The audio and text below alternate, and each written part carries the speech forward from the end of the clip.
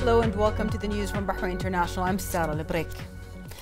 His Majesty King Hamad bin Isa Al Khalifa received a cable of congratulations from the Royal Court Affairs Minister, His Highness Sheikh Ali bin Isa Al Khalifa, on the achievement of His Majesty the King's representative for humanitarian work and youth affairs, captain of the Royal Endurance Team, His Highness Sheikh Nasser bin Hamad Al Khalifa, who won the 120 kilometer race of Spain's International Endurance Championship, and on the success of the Royal Team in winning the first places of the three races of the same championship. The Royal Court Affairs Minister said that the landmark victory is a turning point in the history of of Bahrain's equestrian and endurance sport, noting that the constant royal support enjoyed by such a heritage sport has enabled it to attain innumerable achievements. His Highness wished His Majesty the King abundant health, happiness, and long life, expressing hope that Bahrain will earn more world championships during His Majesty the King's prosperous era. His Majesty King Hamad bin Isa Al Khalifa received a cable of congratulations from the Deputy Prime Minister, His Highness Sheikh Khalid bin Abdullah Al Khalifa, on the achievement of His Majesty the King's representative for humanitarian work and youth affairs, His Highness Sheikh Nasser bin Hamad Al Khalifa, who won the 120 kilometer race of Spain's International Endurance Championship and the success of the royal team in clinching the first places of the three races of the same championship. Sheikh Khalid bin Abdullah praised the landmark victory that also adds to Bahrain's rich record of honorable sports achievements attained thanks to His Majesty the King's unwavering support for sports and athletes, praying to Allah the Almighty to bless His Majesty the King with abundant health. The representative of His Majesty the King for Humanitarian Work and Youth Affairs, His Highness Sheikh Nasser bin Hamad Al Khalifa, affirmed that the great care enjoyed by Bahraini sports from His Majesty King Hamad bin Isa Al Khalifa is the basis of the achievements that the kingdom has achieved in foreign, in foreign forms. His Highness Sheikh Nasser said that the success of the victorious Bahrain cycling team is a new achievement for Bahraini sports, embodying the sports level reach international and European forms in various games. His Highness praised the team's win of the first place in the Tour de France through the victory of cyclist Mathieu Mohoric, indicating that the victory enhances the gains made by the victorious Bahrain cycling team in the foreign competitions and gives the team an incentive to continue reap the European achievements. His Highness Sheikh Nasser also said that the achievement will motivate the team for further successes in foreign participations and comes in line with the Bahrain Economic Vision 2030, in which the sporting aspect is an important element. His Highness Sheikh Nasser bin Hamad Al Khalifa praised the high potential of cyclist Mathieu Mohoric for winning the first place, praising at the same time the efforts of other members of the team. The Minister of Housing, Engineer Bassem bin Al Hamar, paid a inspection visit to island number 12 of Salman City, in which more than 1,382 flats will be constructed at a total cost of more than 122 million and a half million Bahraini dinars. During the visit, the minister stated that the residential flats projects in Salman City, whose implementation is expected to be completed during the second quarter of 2023, comes within the framework of the implementation of the city's master plan projects in a matter consistent with the housing objectives of the government's work program in regards to providing 25,000 housing units.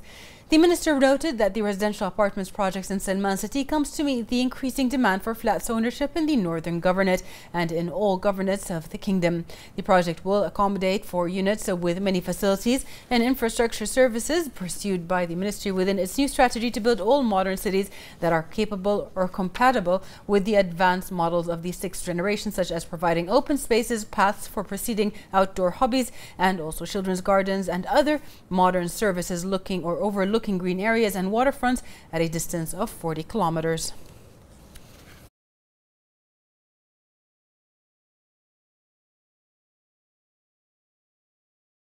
The Minister of Electricity and Water Affairs, Engineer Wael bin Nasser al Mubarak, and the CEO of Electricity and Water Authority, Sheikh Nawaf bin Ibrahim Al Khalifa, launched the Muharraq market station for the transmission of electricity with a voltage of 66 kilovolts. The Minister of Electricity and Water Affairs said that this vital project comes within the main plan set by the authority to develop and expand the electricity transmission networks in the kingdom, following the directives of His Majesty the King and the government led by His Royal Highness the Crown Prince and Prime Minister to provide electricity electricity and water services and meet the growing demand on their uses, in addition to working on attracting foreign investments, which are in line with the Kingdom of Bahrain's Economic Vision 2030. The minister added that the support provided by the Ministerial Committee for Development and Infrastructure Projects, headed by the Deputy Prime Minister and Committee Chairman, Sheikh Khalid bin Abdullah Al Khalifa, contributed a lot to the completion of Electricity and Water Authority projects in accordance with the approved time plans. For his part, Electricity and Water Authority CEO said that with the inauguration of this large capacity station will provide an opportunity to keep pace with development and enhance the reliability of the security of the electrical networks on Muharraq Island. He indicated that this station is one of seven power transmission stations of 66 kilovolts, in addition to three other stations of 220 kilovolts of electricity that fall under the project to develop electricity transmission networks funded by the Gulf Support Program.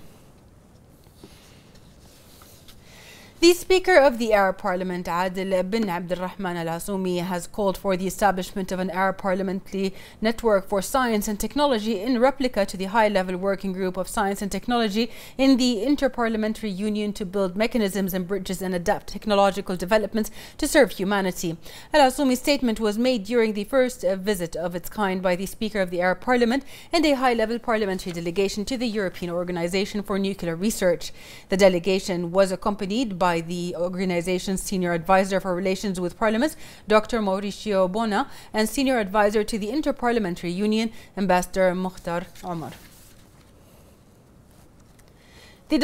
WHO representative in Bahrain, Dr. Tasneem Atatres, praised the sincere and remarkable efforts made by the kingdom in the health sector at all levels, especially in confronting the coronavirus through precautionary and preventative measures for all citizens and residents in line with the recommendations of the organization. Dr. Atatres has highlighted the success achieved by Bahrain in confronting the virus and mitigating its repercussions thanks to the efforts led by His Royal Highness the Crown Prince and the Prime Minister, expressing her aspiration for more cooperation and joint coordination between the two sides. Director General of the World Health Organization, Dr. Tedros Adhanom Ghebreyesus, has all, or and the WHO's regional director for the Eastern Mediterranean, Dr. Ahmed Al Mandhari, will pay an official visit to Bahrain, marking the official opening of the WHO office in the kingdom. The national vaccination campaign continues to witness a wide turnout of citizens and residents. The Ministry of Health announced that 1,093,905 had taken the first dose of the vaccine, while 1,029,835 had taken the second, and 106,494 had taken the booster dose. The ministry renewed its call for the community to commit to all precautionary measures and to take the initiative to register for the coronavirus vaccination. The Ministry of Health said today that the number of active coronavirus cases reached 962 with 123 recoveries, 108 registered new cases and zero deaths. 57 of the new registered cases are expatriates, 42 are contacts of active cases and 9 are travel related. The ministry expresses its heartfelt condolences to the families of the deceased and urges everyone to comply with the guidelines issued by the National Task Force for combating the coronavirus.